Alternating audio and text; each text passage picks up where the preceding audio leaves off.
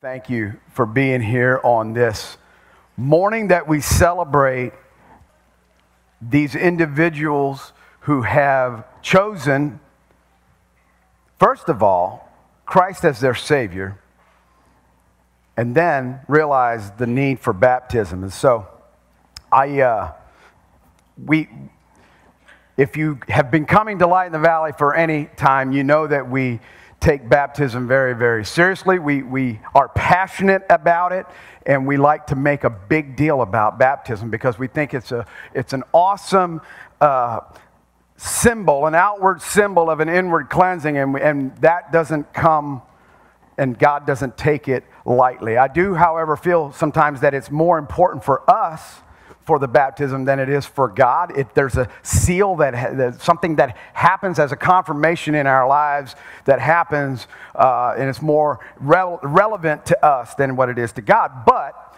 we want to look at what Scripture tells us about baptism this morning, and uh, super honored to be a part of you guys' journey as you get baptized this morning. We have a, ranging from 10 to, I don't know, 30 30 years old probably this morning. So uh, we have quite the range. And so uh, we want to talk about that. We're going to get into why we at Light in the Valley and why us as believers all across the world would think that baptism is important. And so that's what we want to do. It's a great day today. God gave us pretty much two commands specifically ordinances that and ceremonies that we are to work out as believers. The first one is communion. We do that here uh, at Light in the Valley as well, but then we also do baptism. And baptism, what I've found in Scripture, is something that Jesus commanded us to do. It's a command. And so, why? Why is it a command? And so we want to look at that. Matthew chapter 28, verse 19, we'll get started. This is Jesus. He, it's written in red. It says this Therefore, go and make disciples of all nation, and everybody say, baptizing. We're going to start over. You're going to get louder, all right? Therefore, go and make disciples of all nations them in the name of the Father and of the Son and of the Holy Ghost. That's Jesus' words. That, if you study that, of the context and the grammar and then all of it surrounding, that is a command. It's not supposed to become merely a tradition or a habit or something that we do because other people are doing it. We do it because it's a command of Jesus. And why was he so passionate about it? He didn't say go make disciples and give them a t shirt and hang a uh, gold cross around their neck. He said baptize them. And so this morning, we want to understand corporately. I want my intention this morning is so that we all understand why it's such a big deal for water baptism. And I know that we come from different walks of life, and I, I am not here saying that uh, there's one way that is better than another. Uh, we, we simply do baptism here the way that we read Scripture and, and that the way that we feel the Holy Spirit tells us to do it through Scripture. And so we want to look into that. Water baptism is a statement of faith. It's basically the way that we do it. We do immersion here uh, at Light in the Valley. That's what this tub is for this morning. And it's, it's a symbol of laying down your old life, burying the old life, the sins, and resurrecting again into a new life. That's what water baptism means. In 2 Corinthians chapter 5, verse 17, Paul says it to the Corinthian church. He says, Therefore, if anyone is in Christ, new creation has come. The old has gone and the new is here. I don't know how better to explain what's happening when we do immersion water baptism. That's what you're going to witness this morning for these individuals that are getting baptized. Water baptism is a very distinct and descriptive picture of that uh, significance and symbolization in someone's life. It's a symbolization of repentance. Repentance is a word, it's an old fashioned word we use at church a lot. You hear the word repentance. What does it mean? It simply means you change. It's a 180 degree turn. You, you go from one direction into the other. You confess that Christ is your Savior and you change your life. The old person was a drastic different person than the one today. So that's water baptism is a way of giving testimony, making a public statement of something outside that's happening inside. I think water baptism helps us grasp the reality that the old you has died. It's a confession of what Jesus means to you. What I like about water baptism for me, I was telling these guys, I got baptized when I was 18 years old, and specific date and specific time. And there's not, I've not been perfect Christian beyond that date. Y'all know what I mean? But as I matured in my spiritual life and as, I, as things happen in my life, I go back and I say, No, I was baptized. And Satan can't take me further than that date. We all celebrate different days, uh, different times. I know uh, just lately we celebrated Damon, my oldest. He just had a birthday, turned 21. And we do that every year. We celebrate his birthday every year. Now, uh, we all celebrate our kids' birthday. Uh, my wife and I, uh, Lord willing, September the 7th, we will celebrate our anniversary once again, and we've done it now 25 times. Can you? I know. Give her a hand. Yeah, give her a hand. I told her, you know, you're going to have to do it another 25. And she goes, bet me. But that's something that we, there's a date in time that we celebrate that each and every year. And I would, my encouragement to you guys is to never forget February 13th, 2022. That's a date that God is marking in. You are doing it here in, in humanity or in physical. You are marking that day as your day to make a stand and make a public confession for God. And God, I believe this morning the angels are celebrating with him on your behalf of what you're getting ready to do. Hmm. Reminds me, this morning I had the very same feeling, pretty much, of the first time I preached. My knees were weak, my stomach hurt. You're looking at it. That's what's happening here this morning. I remember celebrate, I go back to the first time I preached. This is very much uh, uh, something that reminds me of that. With all you people, make me nervous. Thank you for being here, but you make me nervous. What a privilege to have a date like this that we can celebrate our Christianity. I will tell you that in all of our lives, every human being who is in this building this morning, we all have had pasts lives, things and events and things that have happened to us, things that we've done to other people, things that we were involved in that we're not proud of. Every single person in here. And today is that day where you say, hey, I'm coming up into a new life, and Satan will never take you past this date in history. You can always say, when you get tempted and when things come your way, you're not taking me further. I was baptized, I was covered. My sins were covered by the blood of Jesus. And I made a public statement about it. If you think about it, when Jesus got baptized, it says that he came up out of the water, and it says immediately the Spirit led him into the wilderness where he was tempted by Satan. Things are going to happen. We live in a broken world. Life's going to come at you. There's, it's going to come at you fast at sometimes. Always point back to this day. Water baptism is a point of separation that divides the old into the new, drawing a clear line between the old life and the new life. It gives us believers a date and time to celebrate great change in our life. In Scripture, there's lots of examples about baptism that we can look at, study, and figure out what is the proper way or what's, what, what is the best way. And, and so there's lots of different examples in Scripture that, that talk about the act of baptism. You know, even talks about Jesus getting baptized, and you say, well, why would he need to get baptized? He was a, he was a perfect man on earth. He didn't sin. He lived here for 33 years and never sinned once. Why would he need to get baptized? Now, Just, it's as simple as this. Jesus was trying to be, and he, he was, an example for us to follow. Matthew chapter 3, verses 13 through 17. We're going to put it on the screen for you. It says, Then Jesus came from Galilee to the Jordan to be baptized by John the Baptist. Doesn't say that in this uh, scripture, it says it in a different translation, but it was John the Baptist. Then Jesus came from Galilee to the Jordan to be baptized by John. But John tried to deter him, saying, I need to be baptized by you, and do you come to me? In other words, John was standing there who was baptizing other people. Jesus shows up on the banks of the Jordan, and John was like, No, why would you ask me to baptize you? Shouldn't it be the other way around? And I would tell you if Jesus was physically here this morning, how many believe he is here this morning? Amen. By spirit. But if he was physically here this morning, we would all have an issue of us baptizing him.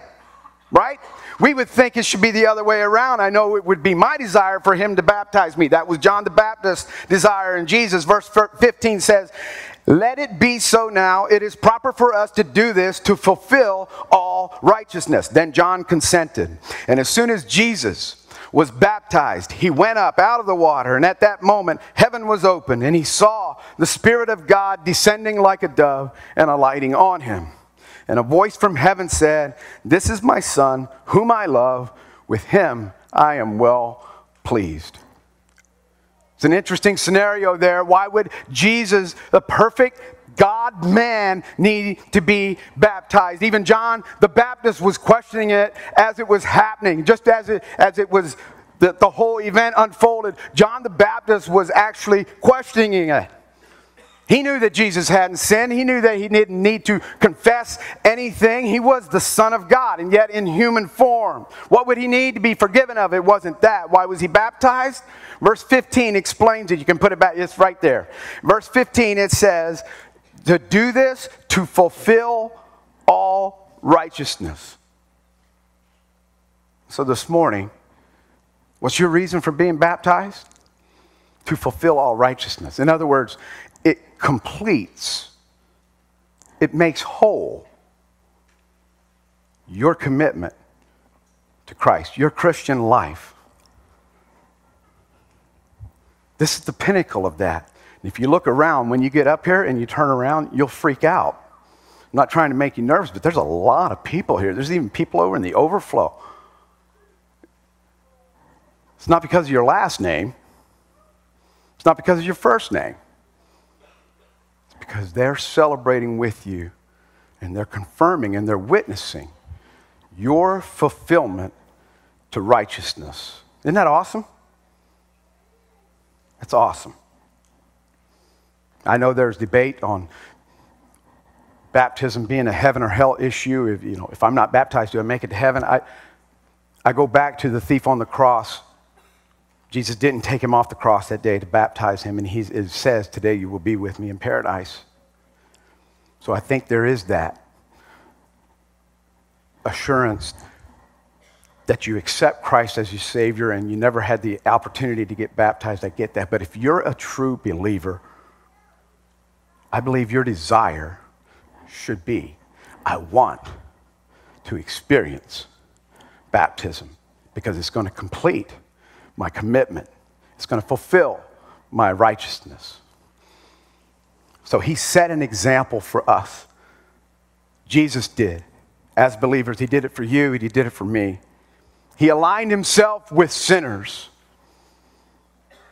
Because everybody else down at the Jordan that day was like you and me. We need God's grace to get us through every day. Amen. It's amazing, though, throughout Scripture, as you read the life of Jesus, the ministry of Jesus, how many times he actually aligned himself with sinners. He did it through meals, he did it through conversations, he taught them daily. He did it as an example for me, and he also aligned himself the day he got baptized. He's our model of obedience to God. Not only was water baptism modeled by Jesus, it was commanded by Jesus. It's not an option, it's a command. That's how I look at it. So I get really passionate about baptism. It's an act that God requires of every believer. In fact, some of the last words that Jesus ever recorded in, in Scripture was Mark chapter 16, verse 16. And it says this Whoever believes and is baptized will be saved, but whoever does not believe will be condemned. That's pretty strong. It's pretty strong words. It's a command. A lot of significance on baptism. The other thing that I see as I study scripture and I study on how to do it, when to do it, is that the facts are quite frequent inside of scripture that water baptism followed immediately after a person's conver- conversion. They did not delay. They didn't put it off, so to speak. They didn't have to go through a 12 step proving program. They were they accepted Christ as their Lord and Savior. They would respond to that call and they would immediately baptize them. There's many many stories of that in scripture. Acts chapter 2 verse 38, Peter replied it and he said, "Repent and be baptized." Every one of you in the name of Jesus Christ for the forgiveness of your sins, and you will receive the gift of the Holy Spirit. Later on in verse 41, he says, Those who accepted the message were baptized. Somebody say, baptized. And about 3,000 were added to their number that day. How many people do you think were there if 3,000 of them got baptized? There's only, there's going to be seven of you here. And look at this church, full. Isn't that awesome? 3,000 of them were added that day. They didn't have to jump through some hoop and do some special thing. They were added that day.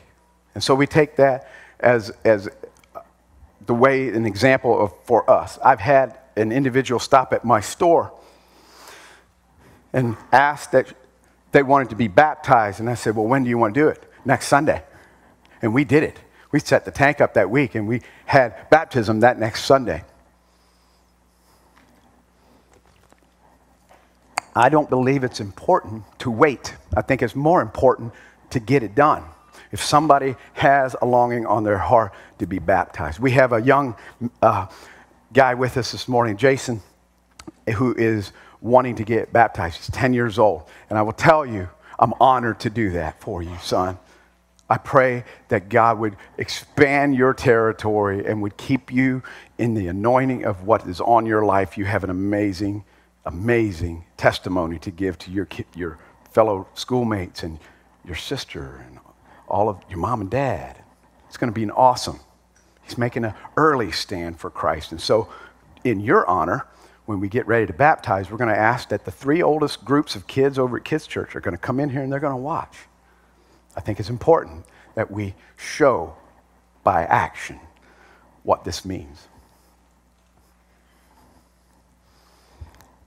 Past December, I lost, all of us lost, a really dear friend. Harvey Miller. I want to give him some honor this morning. I was walking to my truck after the funeral, and Jamie came up to me and he said, There's one thing I wish I'd have done before he passed. I have no regrets. There's one thing I wish I'd have done. I said, What's that? He said, I wish I'd have been baptized. I said, When do you want to get baptized? Whenever it suits. I want to get it done. Uh, so, Jamie, Jolene, Matt, they're getting baptized this morning. And I believe your dad will be in celebration this morning with the angels in heaven for your decision to do that. It's an honor to do this for you. And I know you miss him, but he's, he's there. He's pulling for you. God bless you as you walk through this day. They didn't wait. That's my point. They didn't wait. Jason, we're going to wait till you turn 18. No, they didn't wait. Jason understands what salvation means. He has accepted Jesus into his heart, he understands it completely. He's 10. We're not going to wait. It's important that we're obedient. Acts chapter 22, I think back of Paul's conversion on his road to Damascus. When the light shone down, God struck him down, blinded him. He went, and the third day, the scales fell off of his eyes. He could see, and he repented, and he was what? Somebody say it. And then what did he do? He went preaching, didn't he? But he repented and was baptized immediately. Immediately. So I think you could go to Acts chapter 10. You can jot this down. Acts chapter 10, 16, 18, 19. There are there's many examples where they are converted and they're baptized immediately. I think urgency in that regard is very, very important, and I want to honor that. That's why we're doing it today. Normally, we have baptism. We, we all know we have one. It's a, usually a big one in August where we go out to Gabe and Linda's place and we have a beautiful setting there with the pond and everything. But when someone wants to get baptized, we will step up our game and we'll do it. And I will tell you if there's a believer here this morning who's never been baptized and you want to be baptized, go to the back. They'll get you a t shirt. We'll get you in there. I promise you. It won't take long and I won't hold you down longer than any of the rest. Yeah. Let's do this. Because those people who responded to salvation back then, they realized that, that their faith was not complete until they were baptized. They did it to fulfill their righteousness. And that's what you guys are doing here this morning. So, do we all agree this morning? Would you agree with me that baptism is a direct command from God? Would you say amen? It's a direct command for God, from God. The other thing that I've noticed is that water baptism is not a religious thing. It's not a Mennonite thing. It's not an Amish thing. It's not a Protestant thing. It's not a Catholic thing. It's a Christian thing. And it's for all of us. It's a command. I believe it's very significant to have a public, public profession of faith. Jesus' baptism, his, his own baptism, was very, very public that day in the Jordan. Everything Jesus did, most of it, he did in public. He called his fishermen for disciples. He called Matthew, the tax collector. All of that was done in public. It was at the city gate that he did it. It was down on the docks that he did this. Every follower of Jesus was called publicly. And that's what we're doing here this morning. We're being public. They're doing this in public. It will give you so much confidence in your Christian life. So much.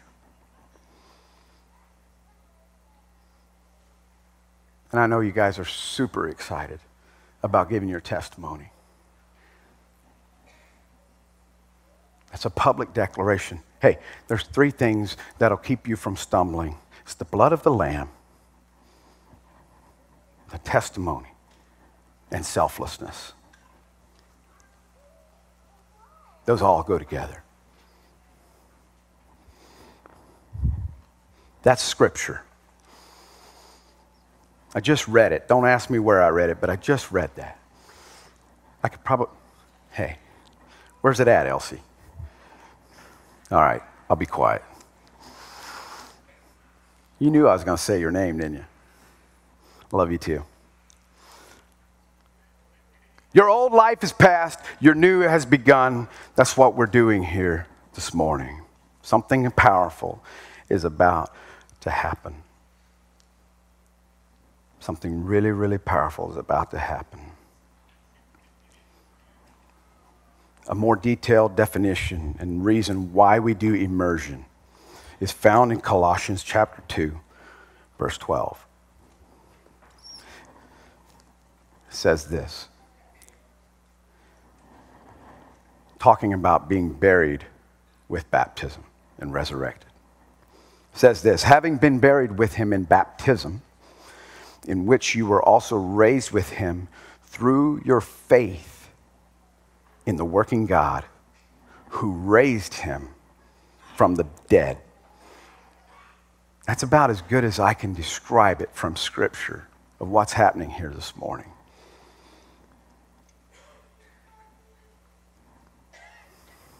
So today, Brennan, if you'll bring your team up. February 13th, 2022, you're making a bold public statement and commitment that will be witnessed by everyone here that you love the Lord, that you accept his plan of salvation, and that you will live it out to the best of your ability in your life.